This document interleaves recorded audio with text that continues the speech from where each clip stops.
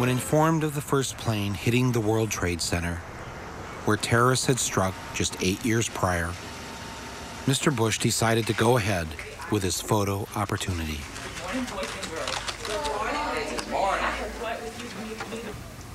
Read this word the fast way. Get ready. Mad. Yes, mad. Get ready. Mad. Yeah. okay, get ready to read the words on this page without making a mistake. When the second plane hit the tower, his chief of staff entered the classroom and told Mr. Bush, the nation is under attack. Not knowing what to do, with no one telling him what to do, and no Secret Service rushing in to take him to safety, Mr. Bush just sat there and continued to read My Pet Goat with the children.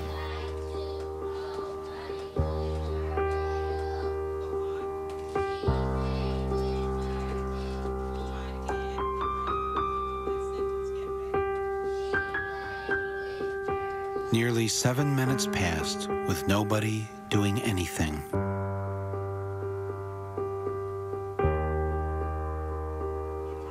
As Bush sat in that Florida classroom, was he wondering if maybe he should have shown up to work more often? Should he have held at least one meeting since taking office to discuss the threat of terrorism with his head of counterterrorism? Or maybe Mr. Bush was wondering why he had cut terrorism funding from the FBI.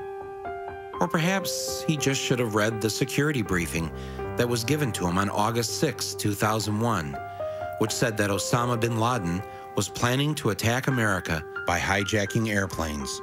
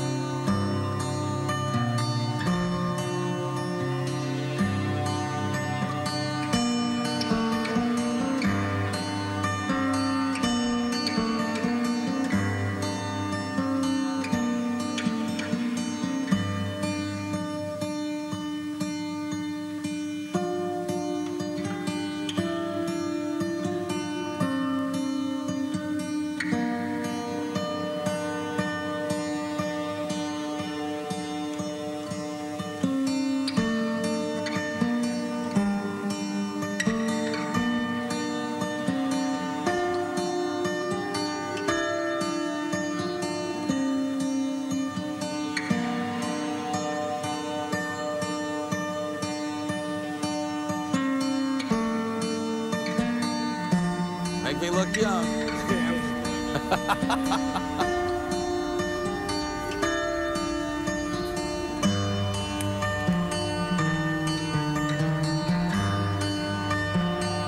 yeah, I got a little uh, sort of air noise. Yeah, just don't turn it up too much so I don't want to blow my head off.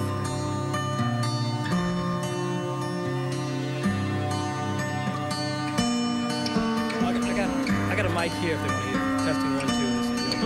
Testing one, two. Testing one, two. This is the Oval Office. Testing one, two, three, four, five.